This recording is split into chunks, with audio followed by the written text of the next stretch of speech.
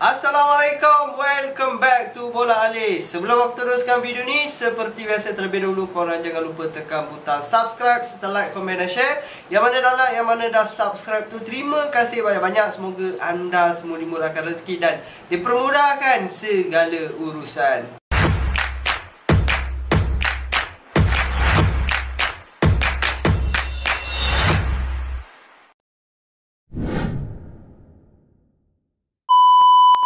Alright gang, untuk video pada kali ni aku nak buat reaction sikit eh. Perlawanan di antara Selangor FC bertemu dengan Terengganu FC Nampaknya keputusan di luar jangkaan Aku memang tak expect langsung eh yang Terengganu tercedok sampai 5 biji gang Dekat atas kertas kalau korang tengok performance masa Terengganu Weh, memang di dalam landasan terbaik ah. 4 game menang berturut-turut Menang besar dengan Melaka FC 4-0 Menang besar dengan Kelantan FC 5-0 Sekali tercedok dengan Selangor 5-1 mat. Weh Memang pedih weh.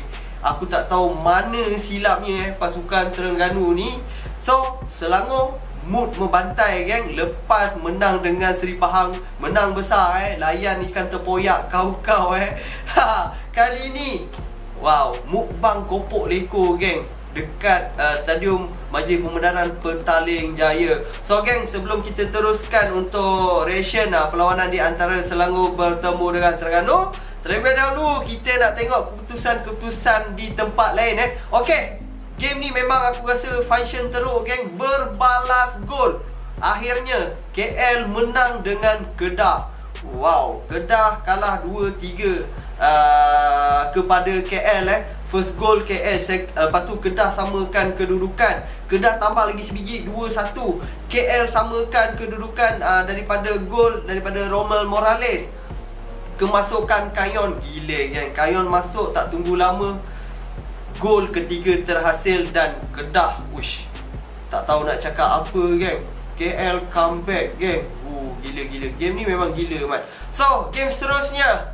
Uh, Penang bertemu dengan Kelantan United. Nampaknya Kelantan United masih lagi menjadi penghuni gua kan Belum pernah menang lagi nampaknya.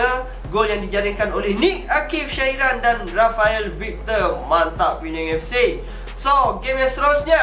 Wow Perlawanan yang berlangsung di Sarawak eh Sarawak Kucing kalah uh, ke atas Sri Pahang FC Azam Azim menjaringkan gol di minit ke-57 Itulah satu-satunya gol kemenangan untuk Seri Pahang FC Nampaknya Pahang terus konsisten Belum pernah kalah lagi di dalam Liga Super Malaysia kita geng. Ha, Yang kalah sebelum ni dengan Selangor tu Piala FA So untuk Liga Malaysia Liga Super Malaysia Pahang masih belum dikalahkan lagi Wow.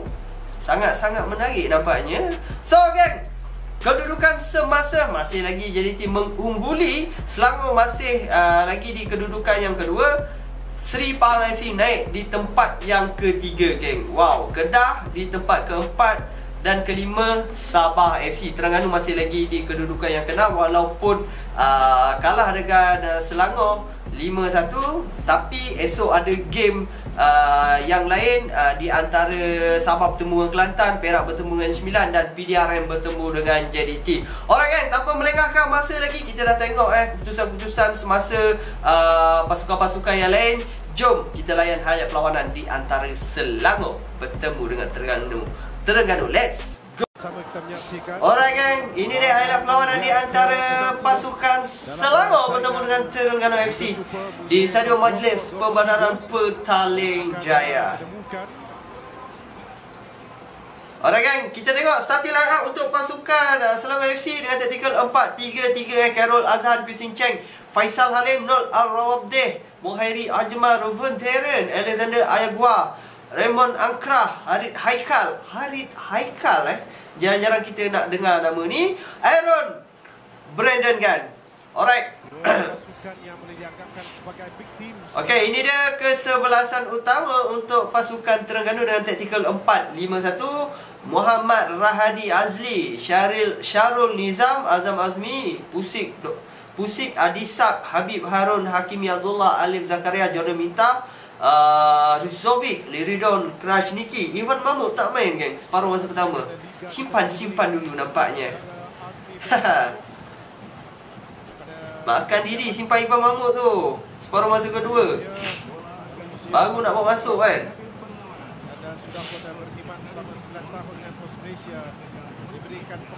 Aku layan game ni tadi geng.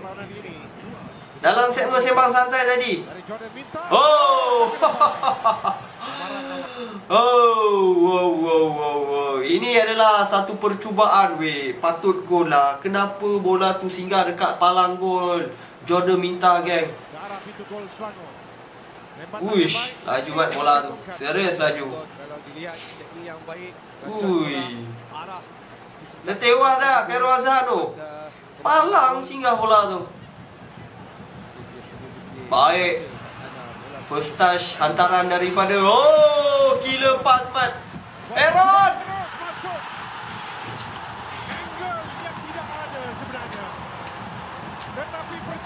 Aaron, Aaron ni.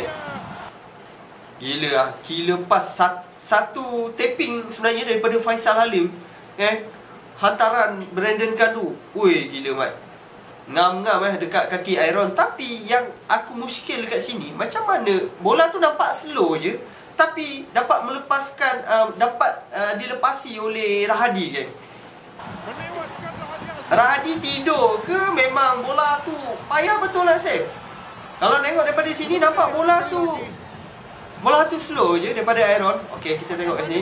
Memang mantap gol ni tak offside kan sudut pun nampak macam suka eh. Jauh tu Woi. Tak ada view daripada belakang ah. Tak nampak. Tak nampak Rahadi agak suka sebenarnya. Agak suka dia nak tepi bola tu. Wih, Faisal Alim. Faisal Alim. Ah. Tak celebrate. Menghormati tim lama dia kan. Faisal Alim menghormati tim lama dia. Bagi menghormati kelab Tetapi dalam tempoh 5 minit Korang tengok eh. Gila lah. Faisal Alim kucar kacirkan Pertahanan. Faisal Alim kucar kacirkan pertahanan Terengganu. Korang tengok Dia seorang dekat sini Mat.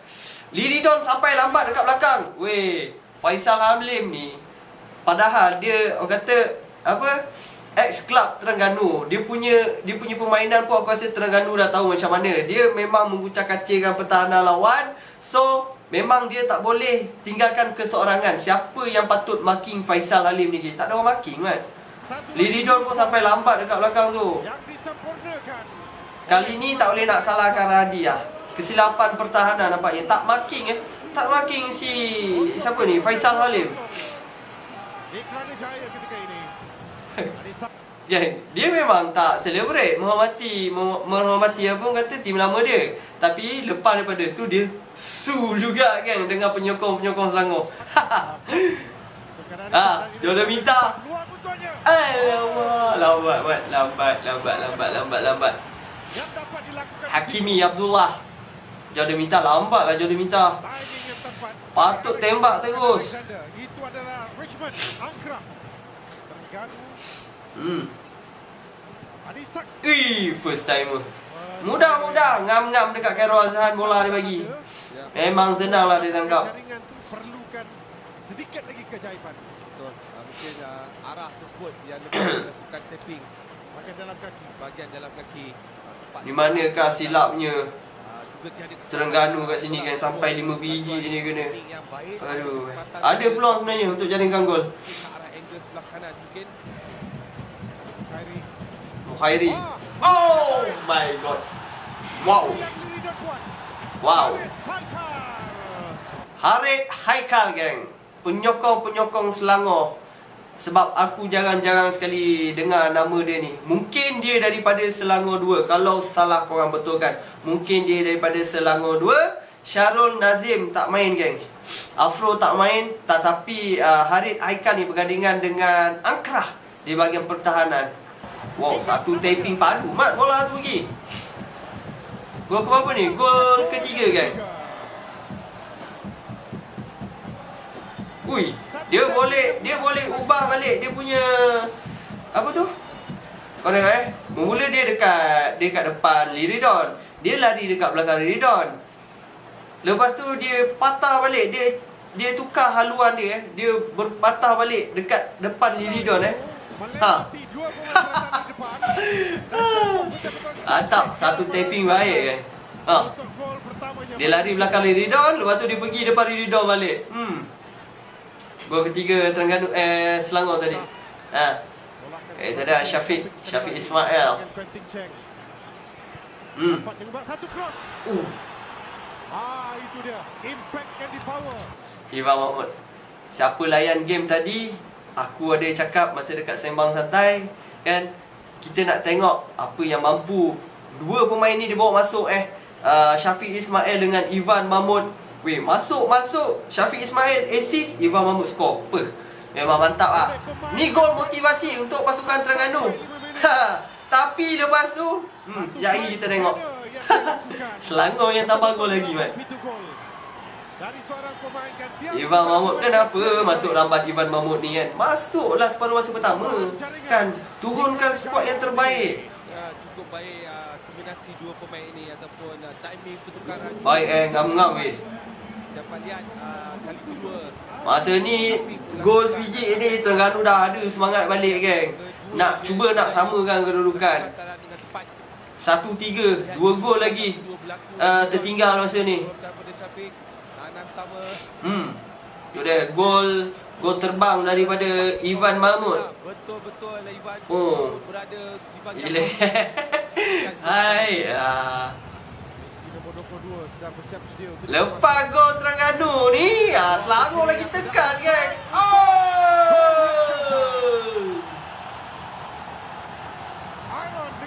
Aaron tambah lagi gol geng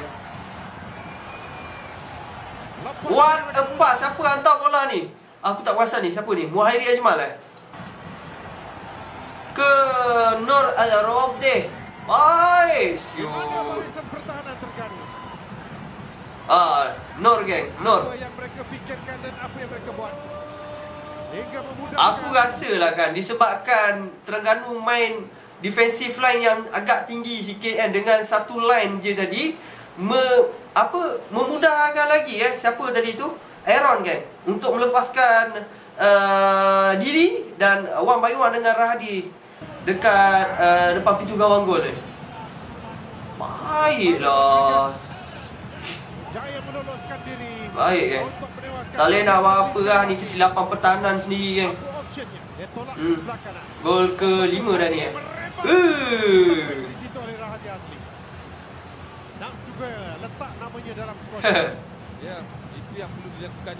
Mental down dah geng Sampai lima biji dah kena. Gol keempat tu dah mental down dah geng Tak boleh nak buat apa lah tengah tu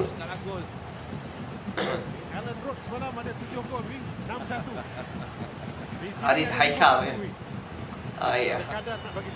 Eh tak ada sama perlawanan Selangor 5 Terengganu 1 Comeback stronger Terengganu Eh sebab tahun ni main AFC Aku harap dapat improve lagi lah Terengganu eh.